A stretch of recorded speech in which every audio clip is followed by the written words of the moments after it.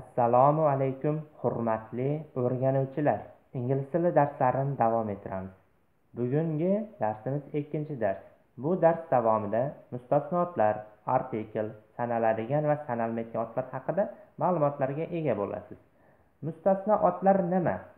Avvalgi darsimizda o'tgan edik otning oxiri ov va f harflari bilan tugaganda ularni ko'plikka aylantirish jarayonida turli xil o'zgarishlarga uchraydi deb o'rgangan edik.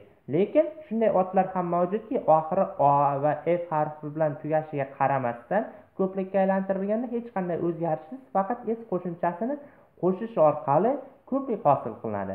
Biz bilishimiz kerak bo'lgan asosiy mustasnotlar ro'yxati quyidagilardan iborat.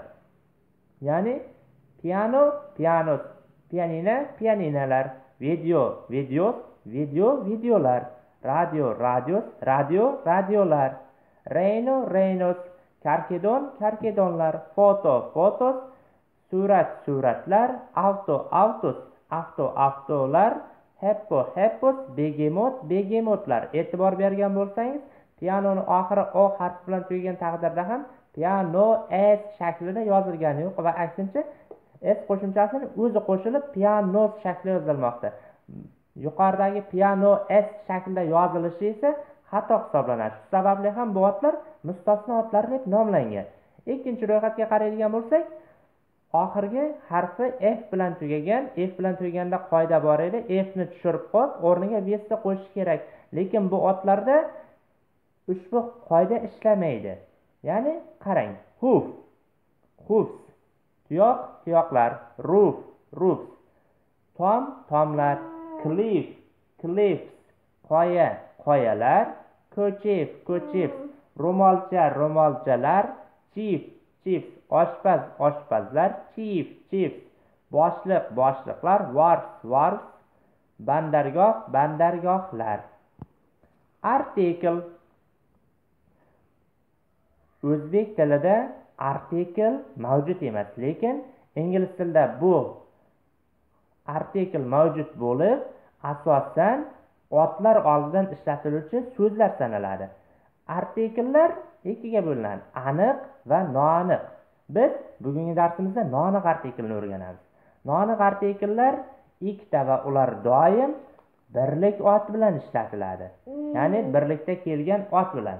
Misol uchun bitta olma demoqchimiz ya'ni birlik ot. Ruchka bitta ruchka. Lekin faqat birlik ot ko'plik ot emas ruchkalar olmalar shaklida kelishi umuman xato. Noaniq artikllarning birinchisi e. Bu e undosh tovush bilan boshlanuvchi otlar bilan ishlatiladi ya'ni birlikdagi ot bo'lishi kerak. Misol uchun a book bitta kitob. A university bitta universitet. Universitetda unli harf bo'lgan taqdirda ham talaffuzda ye university deb aytiladi va talaffuzda undosh tovush bo'lganligi sababli ham bunga e artikl qo'yilmoqda. E'tibor bering undosh harf deb yozmadi.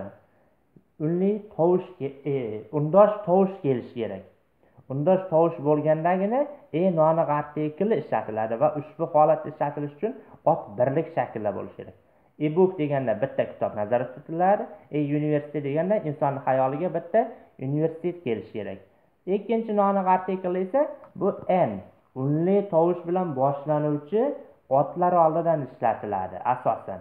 Bunda ham ot birlikda bo'lishi kerak. Masalan an apple bitta olma an hour bir soat. An appleda a unli tovush bilan boshlanmoqda lekin ikkinchi so'zda unda harf bilan boshlanyapti ekanku deya bunga e hava deb qo'yish umuman xato hisoblanadi. Lekin talaffuzda unli tovush bilan boshlanganligi sababli n artikli qo'yilmoqda. E'tibor bering har doim artiklni qo'yish tovushga va otning birlik holatiga bog'liq. Sanaladigan va sanalmaydigan otlar. Sanalayotgan va sanalmayotgan otni asosiy farqi sanalayotgan otni sanash mumkin. Misol uchun ruchka deylik bitta ruchka ikkita ruchka uchta ruchka deb sanasa bo'ladi. Lekin sanalmayotgan otni asli sanab bo'lmaydi. O'z nomidan ham ma'lum. Misol uchun havo deylik. Bitta havo ikkita havo deb sanash mumkin emas. O'zbek tilida ham ingliz tilida ham xuddi shunday. Sanalayotgan va sanalmayotgan asosiy grammatik farqlari uchta. Birinchi farqi artikl olish olmasligi ko'ra sanalayotgan birlikdagi ot artikl oladi. A book bitta kitob. Chunki sanalayotgan otni sanasa bo'ladi. E va n esa bitta degan ma'noni ifodalash uchun xizmat qiladi. Lekin water suv vatini e water bitta suv deb berib bo'lmaydi. Chunki bitta suvni o'zi ham mavjud emas. O'zbek tilida ham va ingliz tilida ham nutqda ishlatilmaydi. Ikkinchi farqi esa otlarni ko'plik qo'shimchasini olish olmasligiga ko'ra farqlanadi sanalayotgan ot ko'plik qo'shimchasini ot sanala ko'plikka o'zgaradi. Misol uchun e, a book bitta kitob bitta kitob kitoblar deb ko'paytirsam bo'ladi books shaklida. Lekin water suv water suvlar deyolmayman bu mutlaqo xato. Uchinchi farqi esa son olish olmasligiga ko'ra farqlanadi sanalayotgan ot o'z bilan sanaladi va sanalganiga sanalganligiga yarasha son ham oladi. Ya'ni ikkita kitob uchta kitob to'rtta kitob deyishim uchun two books four books five books deb ishlatishim mumkin. Lekin sanalmayotgan ot o'z nomidan ma'lum sanalmaydi va son ham olmaydi. Two waters ikkita suv three waters uchta suv five airs beshta havo deyishim mutlaqo xato. Shunday qilib bugungi darsimiz o'z nihoyasiga yetdi. Uyga vazifasi sifatida yangi so'zlar mavjud yangi so'zlarni talaffuz qilishim va tarjima qilishimga qarab daftaringizga yozib yodlab olishingizni maslahat beraman. Demak bugun uy hayvonlari va yovvoyi hayvonlarni o'rganamiz.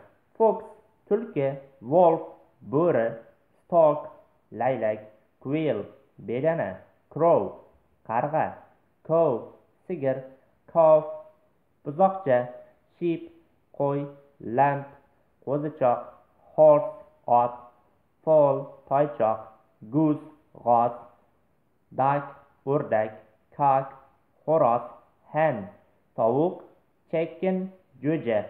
Uyga vazifa ushbu so'zlarni artikl qo'ygan holatda avvalo birlik shaklini keyin esa ko'plikka o'zgartirilgan shaklini bajarasiz. Bajarib bo'lib esa telegramdagi quyidagi link orqali menga jo'natib yuborsangiz men sizga o'zim xatolaringizni aytib tekshirishib berishim mumkin. E'tiboringiz uchun rahmat.